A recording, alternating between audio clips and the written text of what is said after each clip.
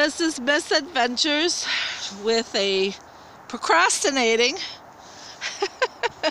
I should be repairing my RV, but I'm frustrated. So, five minute tip on uh, insulating your RV. So, a little late, as you can tell, it's already winter. It's 2017. So, this is shrink wrap. Okay, if you have a generator, do not do this. You need to be able to ventilate. If you don't have a generator in there, and there's nothing that's going to explode, so you don't have like a gas can, or maybe it's empty and you don't have a generator, then go ahead, cover this up. I use shrink wrap, do not shrink it I use double-sided tape, uh, double-sided carpet tape. My fingers, this is me trying to be a mechanic, not and failing.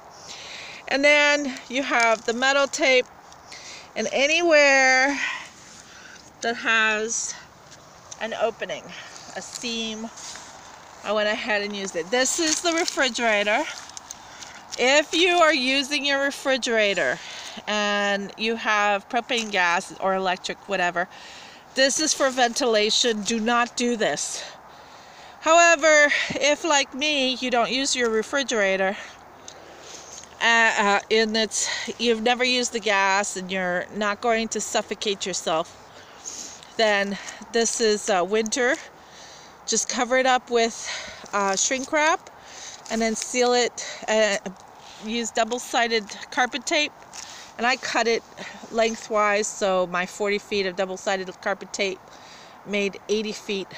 And uh, same with the metal. So this is uh, okay that's the refrigerator. This is hydro. So this was the water. Again I did this because I don't use it.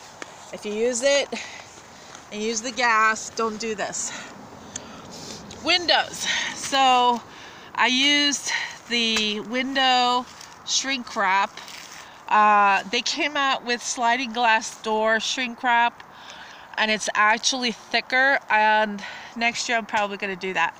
Again, double-sided tape and metal tape on top of that and just one big piece over everything. Do not bother shrinking it. Now, on the inside, I have bubble wrap, the big bubble wrap. And then I have more shrink wrap on the other side. Uh, I'll tell you what, it makes a huge difference. Now, this used to be pink and now it's black. Black attracts the sun. The sun heats the metal. The metal, especially the door. The door is usually the worst.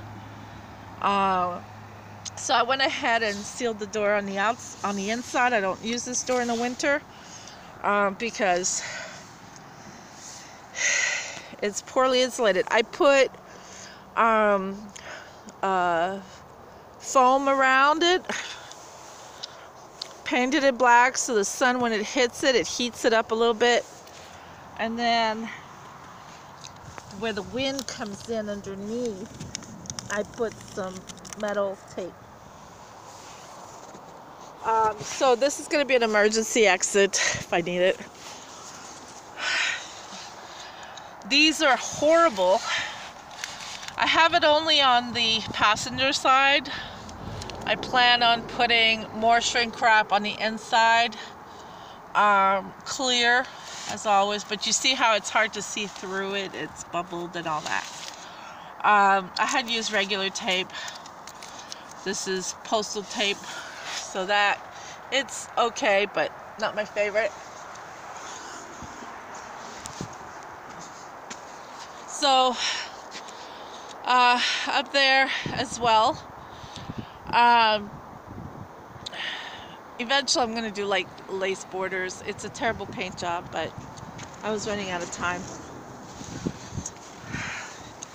So I started doing this, then I ran out of time. Um, just to, because there's a gap and so it'll keep the windows from uh, getting all this cold air and I wanted to paint that black. Didn't get have time. Uh, it does leak, of course. Uh, but it's frozen now, so it's a, no big deal. And I started putting the tape around and ran out of time. Eventually, I'm replacing both those windows with acrylic. One had cracked, and it went downhill from there. So, this is how you protect, uh, you winterize uh, and protect from the wind. The wind is the worst. It makes such a huge difference. I highly recommend it. This is Miss Adventures. Don't forget to subscribe. There's more videos coming up.